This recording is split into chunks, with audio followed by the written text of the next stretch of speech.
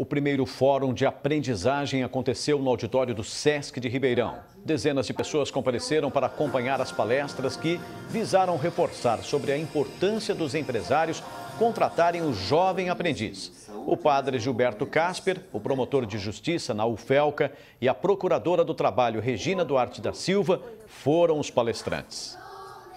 Crime é não ter educação, crime não é ter políticas públicas para essas crianças e adolescentes que não têm outro caminho senão o caminho da droga, principalmente numa região onde nós vivemos no tráfico caipira das drogas. Se a sociedade não se organizar e abrir perspectivas e possibilidades de absorção no mercado de trabalho dos jovens que estão vindo, consequentemente a realidade que nós estamos vivenciando não será alterada. É muito importante que o empresário tenha plena consciência do seu papel em relação à aprendizagem, que visa disponibilizar ao adolescente um meio é, apropriado de inserção no mercado de trabalho.